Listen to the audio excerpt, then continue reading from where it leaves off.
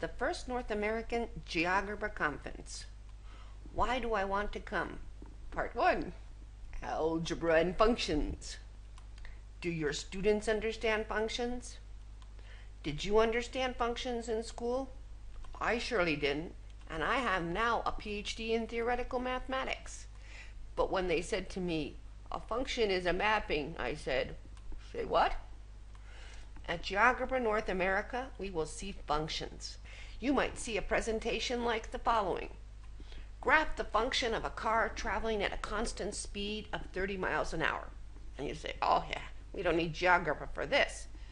But wait, there's more. Let's see the presentation. So here we have the function. f of x equals 30x, 30 miles an hour times this, x. And first thing you might notice is in GeoGebra, we can label the axes. So here's time, and it says hours, and here's miles.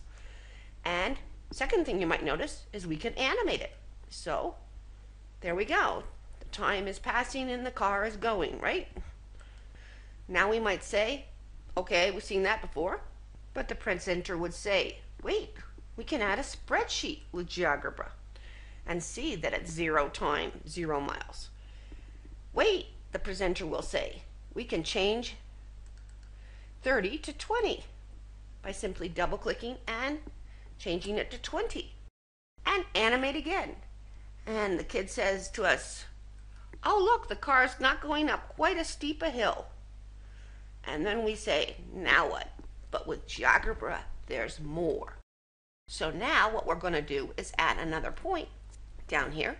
C equals minus 1 and f of t and hit enter. And you say, well, why do we want that point over there? Wait, there's more. So we say insert an image, click on our little point right here, and we're going to put in a little car. And then we say, now, see the car is traveling in a straight line. This is a function that shows time to the distance, but the car itself travels in a straight line. So come and see a presentation like this with GeoGebra functions come alive and it's free. See GeoGebra used in the classroom. See real classroom teachers present their ideas. Share your ideas. At GeoGebra North America, you can become a part of the GeoGebra community.